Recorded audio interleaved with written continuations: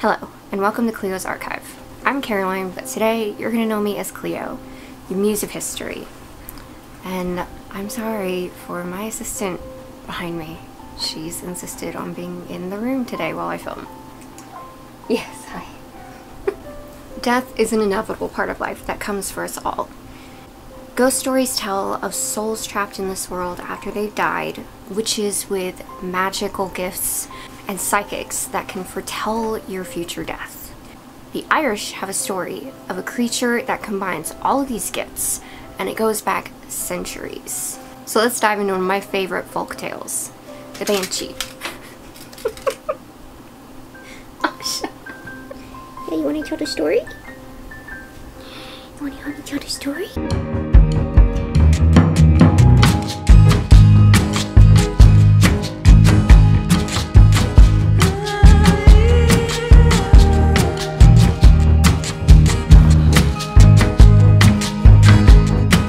Banshee comes from the Old Irish word binsheed, and I'm very sorry if I said that wrong. I did my best. It translates to fairy woman or woman of the fairy mound. Yes, I did have to read that. I'm dyslexic. Um, it's important to look at the word banshee linguistically because of that word sheet in there, which is related to Old Irish words tumuli, which mean mounds of earth or stones that were sprinkled across the countryside. Tumuli traditionally covered graves and were considered to be homes to spirits of the dead. The banshee dates back to the 8th century when women would gather at a bedside and sing sad songs signifying the impending death of a loved one.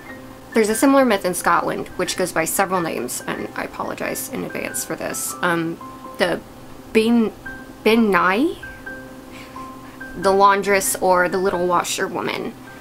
She's an otherworldly creature who is spotted when somebody is near death and is seen washing the clothes of one who is going to die.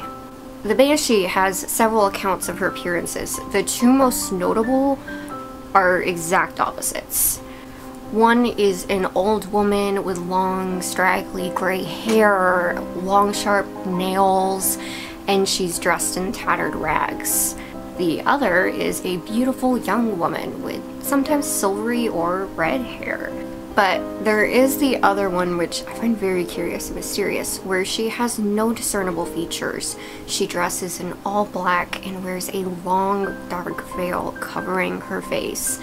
And that one would creep me out the most, honestly. I hate not being able to see people's faces. I, I really don't like that. These women appear to warn of the death of a family member, and their keening wails are piercing and shrill. While they are connected to death and warn of its approach, they're not the harbingers. They're simply the messengers. They're like Hermes. In fact, it's actually believed that banshees were once mortal women themselves. They became banshees in death after being brutally murdered, and now they give others the chance to prepare for the deaths they didn't have the chance to. Some tales say that each family has their own banshee and they develop a special bond with them, that the family can actually recognize their banshee by her song, or that only the person fated to die can hear her song.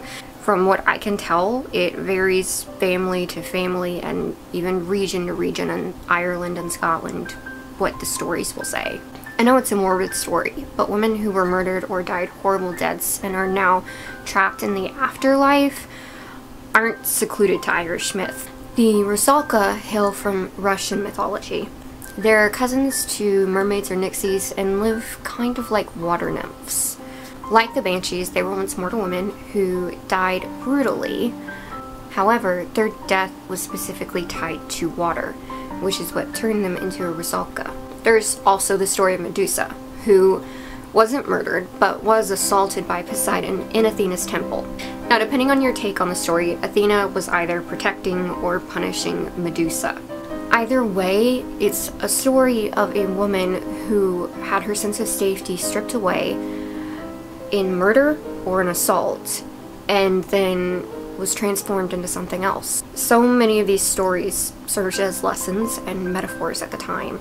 I'm sure there are many to look at, but personally, as a woman who's been at the brink of death more than once, who has been terrified and frankly in incompetent hands, I find a sense of solace in these stories. While I don't think Athena was protecting Medusa, if we look at the Banshees, they're not women who would have died kindly or quickly.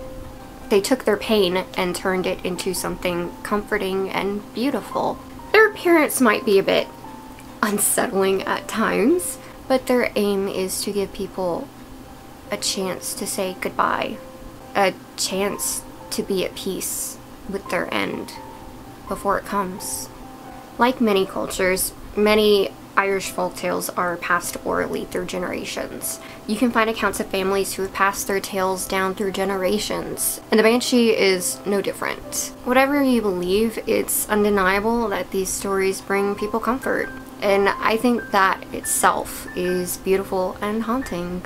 I hope you enjoyed this video, and if you did, please leave a like and subscribe, and if you would like to be notified when I put up a new video, hit the bell icon. It apparently does something. And don't forget to let me know in the comments what myth, legend, or folklore you would like me to cover next time. Thank you so much for watching, and I will see y'all next time.